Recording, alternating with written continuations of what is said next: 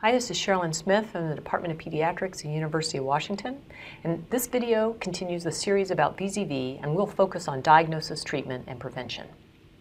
These are the learning objectives. Appropriately order and interpret diagnostic tests for VZV infection and describe the role of treatment and vaccination in VZV infection.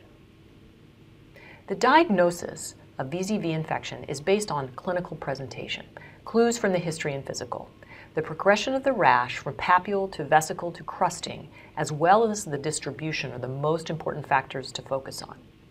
This approach may lead to overdiagnosis of VZV because other rashes look like VZV, but few have all the characteristics. PCR may be done on vesicular fluid in atypical cases where the diagnosis isn't certain and there's an important need to know the diagnosis, such as in an immunocompromised patient or an exposure of an immunocompromised patient. The most common reason for atypical presentation is varicella developing in a previously immunized patient.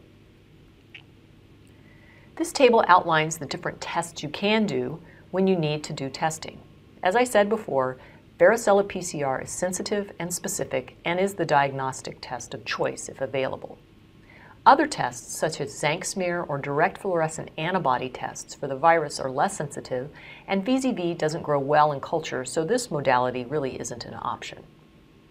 Antibody tests can indicate previous exposure, or if the level is rising between two different sam samples, acute and convalescent specimens, this gives evidence that there was an acute infection. The mainstay of treatment in healthy children is symptom control and prevention of complications like skin infection.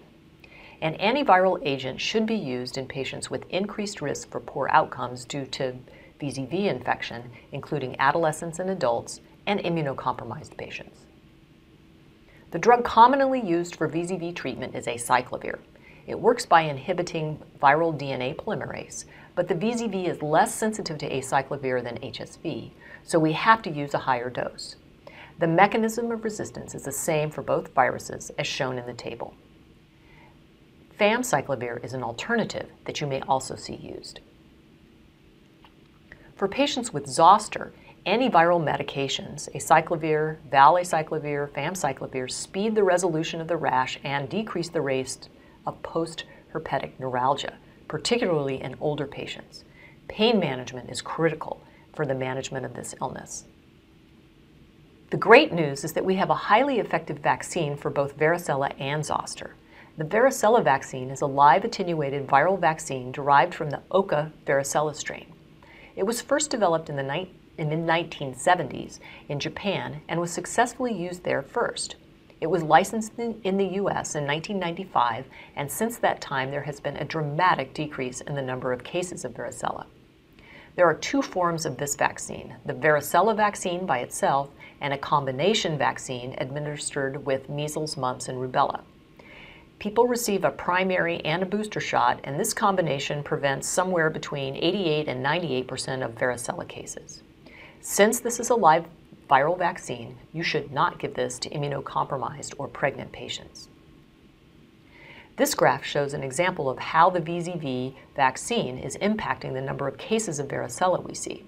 The red line represents the percent vaccine coverage and the blue bars are the varicella cases.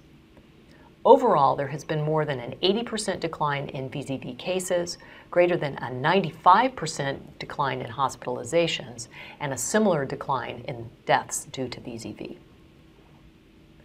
The vaccine for zoster is also the Oka strain, but given at a higher concentration than the varicella vaccine and is recommended for everyone over 60 years of age, which is when we see anti-VZV memory declining below the threshold for control.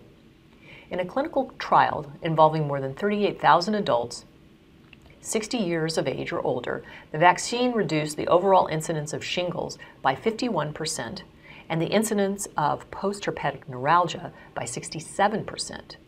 The efficacy of the vaccine in preventing shingles was higher in the younger age group, those people 60 to 69 years of age, with a vaccine efficacy of 64%, Then in the older age group, people who were older than 70 years, and a vaccine efficacy of 38%. This difference is due to the poor T cell response to the vaccine in the older patients. As I indicated, you can't give live vaccine to certain patients, but you can provide passive immunization by giving antibodies directed against VZV if there is an exposure. We save this approach for immunocompromised patients like those with cancer, pregnant women, and babies born to moms who develop varicella around the time of delivery.